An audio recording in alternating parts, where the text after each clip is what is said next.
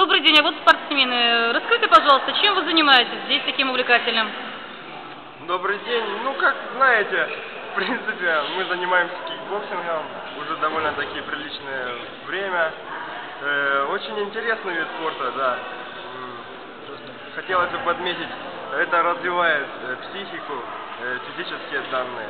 Ну и, в общем, просто полезно. То есть вы становитесь более уравновешенными как развивает психику? У нас очень дружный коллектив. Всем, все приходите, проверьте свои силы, способности. Не пейте, не курите. А много ли нужно сил для того, чтобы заниматься таким видом спорта? Да нет, чуть-чуть пришел, если главное, чтобы было желание. Здесь очень весело, дружный коллектив, как уже сказал ранее мой товарищ. Приходим сюда просто отдохнуть, позаниматься для себя, а то район наш стал в последнее время бандитский, опасно ходить. Сейчас ходим, занимаемся в свое удовольствие. Очень классно, советую всем. А вообще о чем вы мечтаете в своей жизни?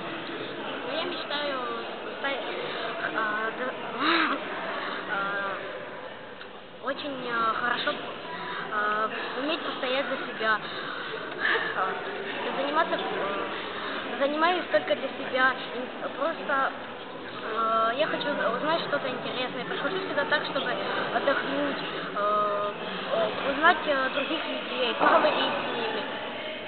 Ну вот вы говорили, что здесь сюда приходите отдохнуть. Ребята, ну если тренировки каждый день, ну какой же это отдых? Плюс еще школьная нагрузка. Я прихожу Объясните. развеяться, скинуть э, стресс, который набрался за весь день в школе, там еще с кем-то там, может какие-то терки, там еще что-то. Прихожу сюда так, отдохнуть.